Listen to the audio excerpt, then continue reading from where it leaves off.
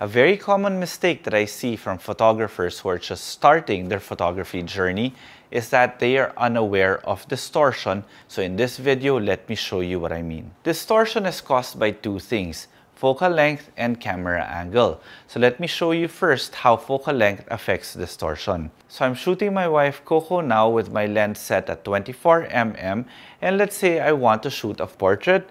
If I do that, her face looks distorted because of the nature of the wide angle lens. However, I can step back and zoom in and then I get the proper proportions to her face. Another way I could cause distortion is shooting too wide, again with a 24mm lens, and shooting going down, you could see she looks a lot smaller, or I could shoot from below, which will now extend her legs more. So being aware of proper focal length and camera angle will help you fix those unwanted distortions.